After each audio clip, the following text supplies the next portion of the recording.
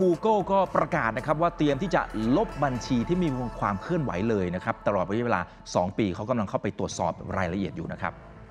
เรื่องนี้ก็ต้องตรวจเช็คให้ดีนะครับ ว่าตอนนี้เรามีบัญชีที่ไม่ได้ใช้งานหรือเปล่านะฮะโดยสำนักข่าวรอยเตอร์สรายงานว่า Google นะครับก็ออกมาระบุว่าจะลบบัญชีที่ไม่ได้ใช้งานเป็นระยะเวลา 2 ปี โดยจะเริ่มตั้งแต่ธันวาคมนี้เป็นต้นไปครับเพื่อเป็นการป้องกันภัยคุกคามความปลอดภัยรวมถึงการแฮกด้วย บริษัทนั้นกล่าวว่าถ้าไม่มีการใช้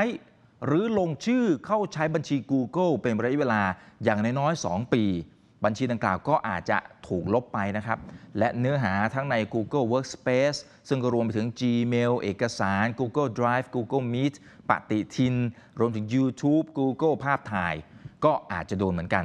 โดยการเปลี่ยนแปลงนโยบายนี้มีผลกับบัญชี Google ส่วนบุคคลเท่านั้นนะครับ ไม่ใช่สำหรับองค์กร เช่นถ้าโรงเรียนหรือธุรกิจ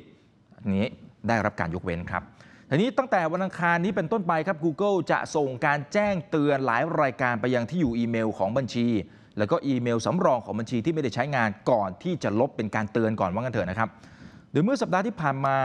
คุณนิลอนมัสก็กล่าวนะครับบอกว่าทางฝั่งของ Twitter เองก็จะดำเนินนโยบายที่คล้ายๆกัน คือจะลบบัญชีที่ไม่ได้ใช้งาน เป็นระยะเวลาหลายปี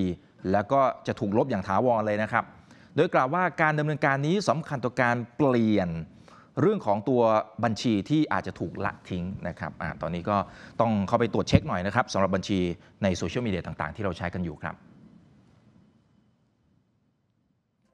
ขอบคุณที่ติดตามรับชมรายการย่อโลกเศรษฐกิจครับ อย่าลืมกด subscribe กดกระดิ่งกดไลค์กดแชร์ในทุกช่องทางออนไลน์ของ TNN ช่อง 16 ครับ จะได้ไม่พลาดทุกรายการสด แล้วก็คลิปวิดีโอที่น่าสนใจมากมายครับ